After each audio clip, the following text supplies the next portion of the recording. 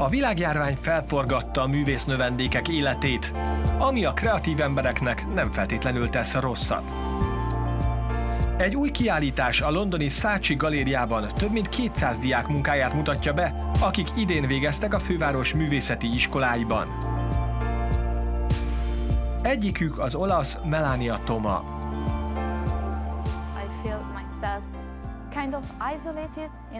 Eléggé elszigeteltnek éreztem magam.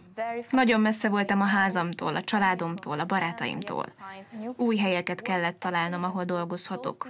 És valójában ez nagyon ösztönző volt számomra, mert így új utakat, új érdeklődési köröket fedezhetek fel.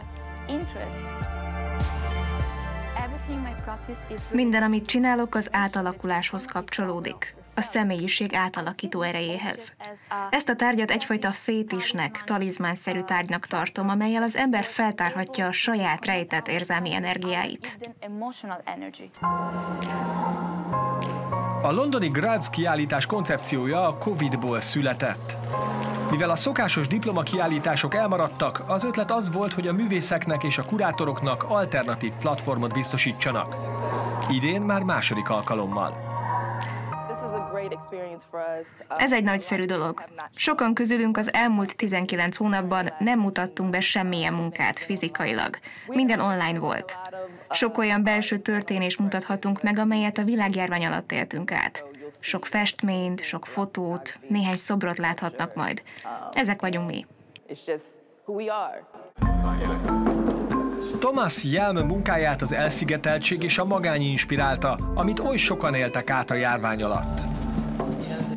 Ez a mű tulajdonképpen a bátyámnak készült, aki néhány évvel ezelőtt nem volt túl jól, és kapott egy SMS-t egy barátjától, aki azt írta, most viharban vagy, erezd le a vitorlákat, ez is elmúlik. És ez az az érzés, amiben mindannyian osztoztunk az elmúlt évben. A kiállított művek számos divatos témát körüljárnak a társadalmi nemtől a környezetvédelmen át egészen a fai kérdésekig.